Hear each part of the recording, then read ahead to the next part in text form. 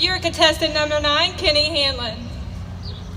Country Roads, take me home to the place you belong, the Mineral County Fair, no doubt. Because from June 18th to the 22nd, it's what making memorable memories is all about. So move on over, there's a cow coming through. And if you like animals, we got livestock shows just for you. Games and rides that we run every night of the week. And if you get hungry, be sure to grab a treat. And Saturday, a parade, you say? Of course there's candy, so come and stay. The third week of June is where you want to be, so come to Fort Ashby and come see me.